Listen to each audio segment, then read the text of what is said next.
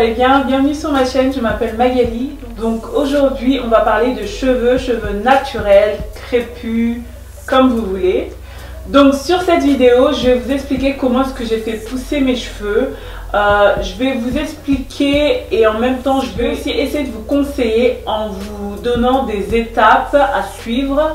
Euh, voilà, donc j'espère que cette vidéo sera utile pour vous et que vous allez mettre en pratique toutes ces étapes-là.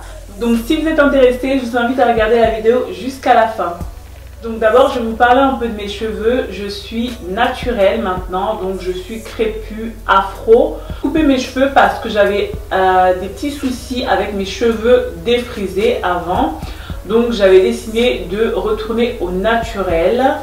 Euh, voilà, mais euh, je me rappelle que même quand j'avais décidé de me couper les cheveux, c'était pour expérimenter plus avec des coiffures euh, courtes, tout ça, mais après j'ai décidé de, les faire pousser, de voir si ça les poussait en fait. Et ça a marché, donc je suis contente.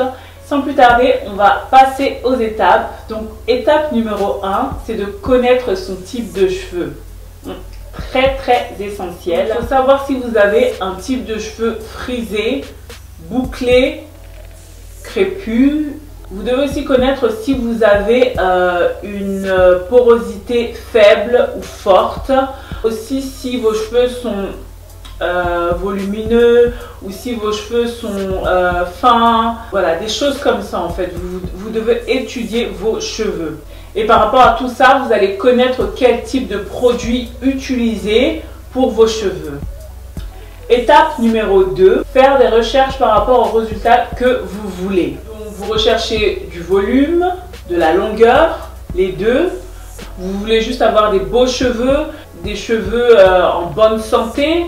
En fait, je vais donner l'exemple. Vous n'avez pas besoin de négliger vos cheveux parce que vous avez une coiffure courte en fait. Donc j'espère que vous, vous comprenez un peu ce que je veux dire. Faites des recherches sur les blogs, des vidéos YouTube et euh, inspirez-vous des youtubeuses qui vous représentent, qui vous ressemblent. Des youtubeuses qui ont le même type de cheveux que vous avez en fait. J'arrive pas à parler. N'allez pas prendre ou suivre des conseils d'une youtubeuse caucasienne ou euh, indienne si vous avez des cheveux afro ou crépus. Donc euh, en fait ça va pas ça va pas marcher en fait. Vous pouvez peut-être, ok, récupérer deux, trois choses, ok, pourquoi pas. Mais euh, ouais, ça va pas marcher en fait. Ça va pas, le résultat sera pas la, même chose parce que euh, le process, notre process est différent.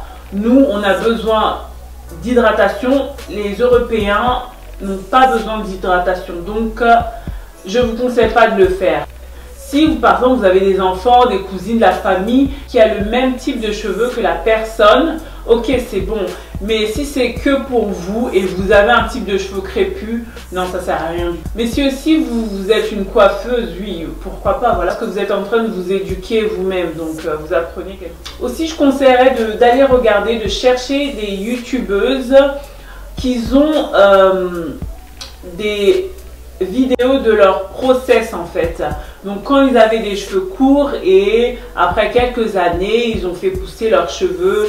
Voilà, je vous conseille ça. C'est moi les vidéos que je regarde pas, c'est juste qu'une fille est là avec des longs cheveux, des beaux cheveux et elle vient seulement "Oh, regardez, ouais, j'ai fait pousser mes cheveux." En fait, on n'a jamais vu, elle a jamais montré les, ses photos de deux ans, trois ans, cinq ans passés, elle vient juste "Voilà comment j'ai fait pousser mes cheveux." Euh, moi, vraiment, je ne conseille pas trop de regarder euh, ce genre de vidéos. Mais euh, si vous voulez, vous le faites. Alors, étape numéro 3, c'est d'avoir les bons instruments et les bons produits. Alors ça vraiment c'est quelque chose que je déteste et surtout les coiffeuses. Vous savez les coiffeuses qui coiffent à la maison et vous partez là-bas, elle n'a pas de peigne ou bien elle a un seul peigne. Moi ça, ça m'énerve tellement. Aussi avoir des outils qui correspondent à vos types de cheveux. Donc je vais vous montrer quelques outils, j'espère que la vidéo ne sera pas trop longue, mais je vais vous montrer tous les peignes que j'ai. Je ne vais pas tout vous montrer parce que je, pense que j'en ai vraiment beaucoup. Et euh, voilà, donc euh, on va passer à ça. Je ne viens pas de les acheter, hein. je les ai, ça fait euh, peut-être 3-4 ans. J'ai le Tangle Teaser.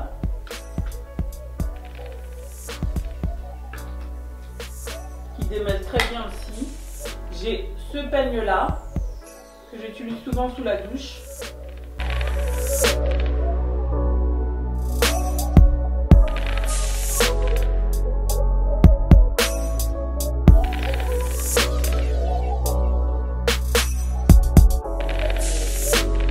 Vous devez avoir des élastiques qui ne vous cassent pas les cheveux, qui ne vous tirent pas les cheveux, comme ça. Euh, des serviettes, très important, euh, des serviettes à microfibre. Et une serviette comme ceci va permettre euh, que vos cheveux se cassent moins en fait après les avoir lavés pour, les, pour mieux les sécher. Si vous n'avez pas, euh, si vous voulez pas dépenser sur des serviettes micro, euh, microfibre, vous pouvez toujours utiliser des t-shirts à base de coton. D'avoir des foulards en soie. Si vous n'aimez pas les foulards, vous avez des bonnets comme ceci en soie qui protègent vos cheveux contre la cassure. Vous avez aussi des choses comme ça et vous avez des jolis, vous savez, des bonnets là. Moi, je les ai pas un peu plus beau aussi, les gros trucs là, c'est super beau. Euh, vous savez quand vous cuisinez, euh, surtout nous les Africains quand on cuisine, ça sent un peu, ça sent très fort. Pour éviter que vos cheveux sentent mauvais après la cuisine, vous pouvez porter des trucs comme ça. Euh, aussi, vous pouvez dormir avec. Et euh, si vous n'aimez pas dormir avec les foulards, les trucs sur la tête, donc là, je vous conseille d'acheter des thés d'oreiller en soie, tout simplement. Si, si vous voulez séchoir, normalement j'ai le peigne, mais je ne sais pas où est-ce que je l'ai mis. Et aussi, comment ça s'appelle? Fer à lisser, qui est adapté en fait à ne pas casser les cheveux. Ces jours-ci, il y a des trucs, euh, ils disent ionique, je sais pas trop, céramique, des trucs comme ça. Donc ça, ça lisse mieux et ça casse-moi les cheveux. je, vous vous conseille pas vraiment d'avoir le fer à lisser. Euh, mais c'est toujours bon d'en avoir un chez soi, voilà. Si vous voulez vraiment faire pousser vos cheveux, vous, allez quand même éviter tous les outils chauds pour euh, permettre que vos cheveux se cassent moins en fait. Des produits en fait qui promettent de, euh, de protéger vos cheveux quand vous utilisez des instruments chauds comme le fer, comme le séchoir, des trucs comme ça en fait. Vous devez avoir des produits adaptés à votre type de cheveux, très essentiels. Expérimentez avec plusieurs produits, plusieurs marques. Euh, si vous n'avez pas les moyens d'acheter, vous pouvez toujours faire bio, faire à la maison, DIY. Donc, euh, je vous conseille ça aussi, c'est très très bien. Quand je vous dis d'expérimenter, c'est quand vous utilisez un produit, regardez comment le produit agit sur vos cheveux en fait. C'est pas que vous utilisez juste un produit, vous savez même pas ce que ça fait. Donc euh, c'est bête en fait. Il faut que vous regardez après m'avoir lavé. Quand je suis en train de me laver les cheveux, je, pars vers le miroir, je regarde qu'est-ce que le produit est en train de faire, s'il est bien en train de démêler mes cheveux, des trucs comme ça.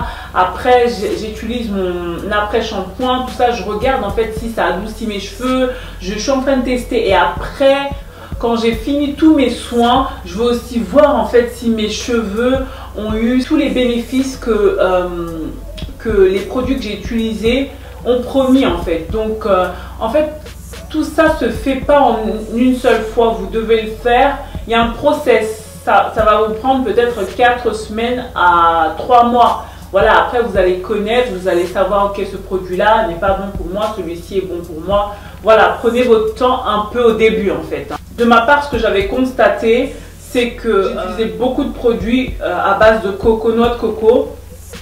Et euh, en fait, ça marchait pas du tout avec moi. Et j'avais constaté que le noix de coco ne pénétrait pas. Ça faisait rien à mes cheveux en fait. Et euh, voilà, donc j'ai dû lâcher. Et aussi, j'ai remarqué le miel, non pour mes cheveux. Ça durcit mes cheveux, ça fait rien du tout. Le miel, il sent super bon, mais non, ça marche pas avec mes cheveux. Ça ne marche pas. Il peut en avoir sur un produit, ok, je vais peut-être essayer. J'ai découvert par rapport à ce que je vous ai dit, j'ai étudié mes cheveux. J'ai découvert ce qui marche pour moi. C'est l'avocat. Euh, l'huile d'amande et le aloe vera. Oh Dès que je vois ces trois ingrédients dans un produit, je suis aux anges. Donc ça, c'est les ingrédients qui marchent sur mon cheveu, donc euh, voilà, qui marche. Je vous conseillerais d'éviter des produits lourds. Je vais encore vous donner un exemple des euh, pommades qui vont alourdir vos cheveux, surtout sur les cheveux défrisés. Donc, euh, faut vraiment mettre juste un peu si vous en avez à la maison, mais je vous, déconseille de les acheter. Bon, non, je dis pas ne les acheter plus parce que je vais vous donner un exemple. Quand j'étais petite, ma mère utilisait toujours le Dax, Dax Dax. C'est une pommade verte comme ça. Pour moi, je l'ai beaucoup utilisé après. À chaque fois que je vois, je pense à mon enfance, tout ça. Mais le produit, il est trop lourd, trop gras. Donc, quand j'en ai, j'en utilise juste un peu, voilà. Et euh, juste un peu, vraiment. Et euh, voilà, ça, ça hydrate quand même. Il y a d'autres produits euh, mieux maintenant, je pense. Mais euh, voilà, si ça marche pour vous, restez avec. Je ne déconseille pas ça. Je vous conseillerais les huiles végétales. Les huiles végétales n'alourdissent pas vos cheveux aussi. peuvent activer aussi vos, boucles en fait. voilà. Et ça démêle assez bien. En fait, sur mes cheveux, ça démêle assez bien. Ça définit bien et ça... Comment est-ce qu'on dit en français? Ça scellé. Scellé, ouais. Je, ouais. Ça scelle. On dit scelle pour sceller en fait l'hydratation de mon, cheveu, je vais utiliser l'huile et, et, ça marche très bien. Je vous conseillerais aussi de faire des masques.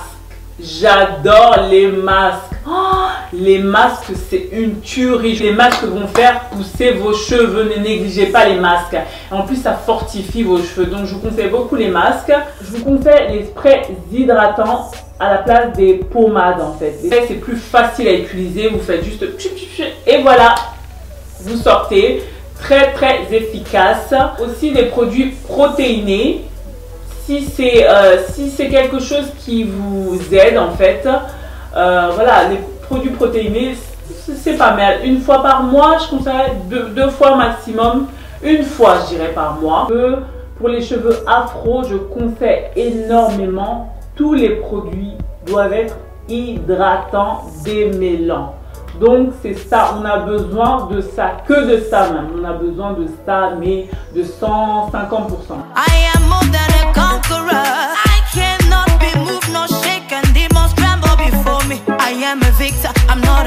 me. I am a victor, I'm not a victim. And that is why I prophesy.